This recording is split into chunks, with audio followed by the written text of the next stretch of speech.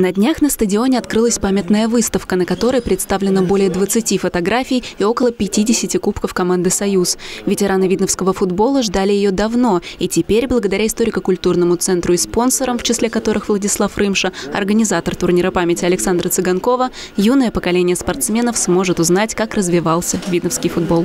После армии мы, так сказать, собрались благодаря Константину Жовичу Котельнику, который тоже бывший игрок команды, он играл на протяжении многих лет. Вот он нас начал тренировать, готовить к открытию сезона, потому что команда была московского кокса, профсоюзная команда московского кокса газового называлась «Металлург». Самое яркое воспоминание было, конечно, естественно, когда открытие стадиона «Металлург». Это было больше 50 лет назад. Вот видно, тут Гаевский э, значит, э, перерезает ленточку. Вот ветеранов, значит, выходят на игру.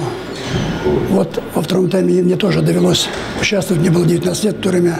Это было, кажется, большим успехом. Я вышел играть всего на 15 минут. В течение многих лет спортсмены защищали честь Ленинского района на различных футбольных соревнованиях. Бывали в Турции, Словакии и Польше. Владимир Кузнецов стал первым капитаном команды, а в 1975 году свою повязку он передал Александру Цыганкову.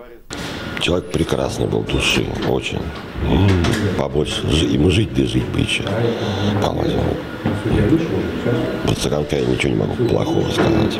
В субботу в 10 утра на стадионе «Металлург» состоится 13-й турнир памяти Александра Цыганкова. Для ветеранов футбола этот день особенно важен. 10 октября бесспорному лидеру команды исполнилось бы 70 лет. В этот раз в 10 часов утра на, на, на стадионе «Металлург» играют команды ну, «Старая площадь», э, «Динамо-27» – это фельдъегерская служба России, команда югославской, скажем, диаспоры Босния в этом году приезжает, администрация городского округа, и две местные команды «Металлург» видно и «Союз-50», который участвует в первенстве России. Во время турнира гости смогут познакомиться с открывшейся выставкой. Для одних это шанс ближе узнать родной город, для других – поделиться своими воспоминаниями. Вот открытие стадиона. 50 лет было в прошлом году.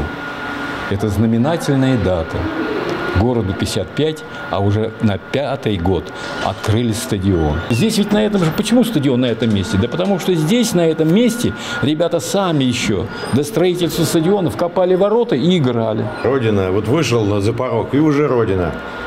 Да. Благодаря нашим друзьям мы вместе, вместе мы сила. Поэтому приходите в субботу, поболейте, за своих, а сами не болейте, соблюдайте дистанцию и держите здоровье в порядке. Александра Столярова, Александр Логинов, Ольга Садовская. Видное ТВ.